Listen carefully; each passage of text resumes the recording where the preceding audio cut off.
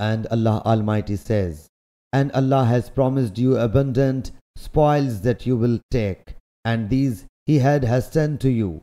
Surah Fatah verse 20. Allah's Apostle sallallahu alaihi wasallam has illustrated that these are for all. Hazrat Urwa Bariqi radiallahu anhu reports that the Prophet sallallahu alaihi wasallam said, Blessings, reward and spoils have been attached to the foreheads of the horses up to the day of resurrection. सही बुखारी हदीस number thirty one hundred nineteen.